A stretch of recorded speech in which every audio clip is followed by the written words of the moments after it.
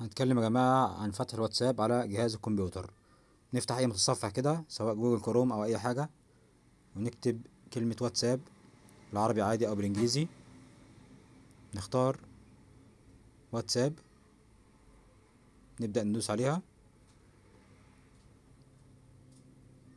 بيفتح معانا كده حاجة اسمها واتساب ويب. نختار الاختيار اللي هو واتساب ويب. نبدأ ندوس عليه.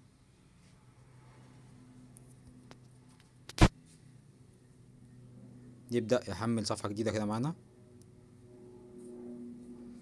واتساب ويب يا جماعة فتحه بيكون تقيل شوية يعني نصبر عليه شوية.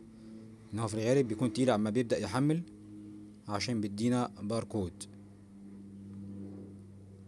بيدينا صفحة فيها الباركود والتعليمات على الشمال. open واتساب in your phone افتح واتساب على التليفون بتاعك. تاب منو or setting and select linked device. ماشي؟ Tap on link device. Point your phone on this screen to capture the QR code. دي يا جماعة إيه هنشرح دلوقتي بالتفصيل. هنعمل إيه؟ بيبدأ ال QR كود كده بيبدأ يحمل على اليمين. نسيب الكود لما يحمل. بياخد وقت شوية على ما يجمع الباركود طبعا حسب سرعة النت يعني بس هو في الغالب بيكون تقيل شوية يعني نصبر شوية. لحد ما تظهر علامة الباركود.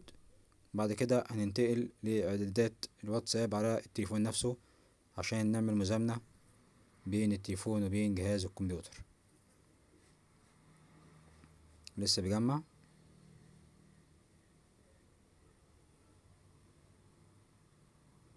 تظهر علامة الواتساب الأول وبعد كده بيظهر الباركود على الشاشة.